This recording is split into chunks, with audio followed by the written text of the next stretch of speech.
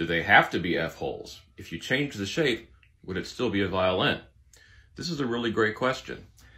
So a good part of it can be answered in terms of acoustics and also in tradition. One of the things that I like about violin making is that what's traditional in there makes good sense. A lot of cultural traditions, some of it's just peer pressure from dead people, let's be honest.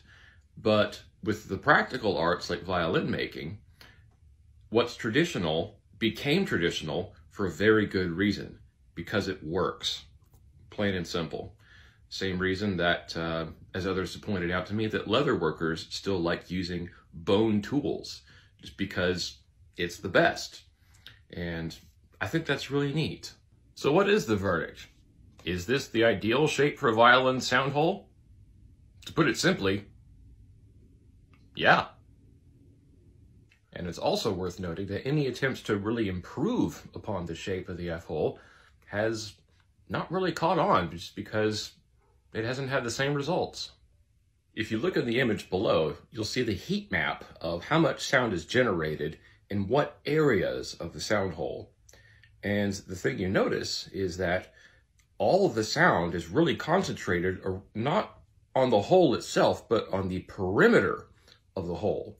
And that means that with F-holes having a longer perimeter going around means that they conduct almost about twice as much sound as a circular hole within the same amount of area, and that makes them extremely efficient at what they do.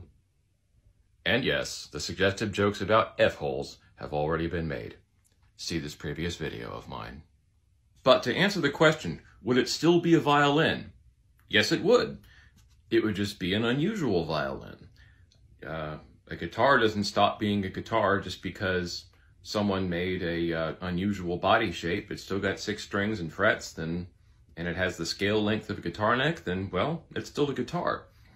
There's a really great maker that I follow on Instagram uh, named uh, Paris Andrew, and she does some really really interesting shapes with the uh, the the sound holes on her violins. She's made a number of nautical themed instruments that have very unusual shaped sound holes that I kind of like it. I think it's pretty neat. Um, now, I don't know if it sounds all that different than a traditional hole. I have a sneaking suspicion that it really doesn't sound all that different. Um, but it is interesting to see variation like that sometimes. By the way, I just cut my first F holes today. Ha ha!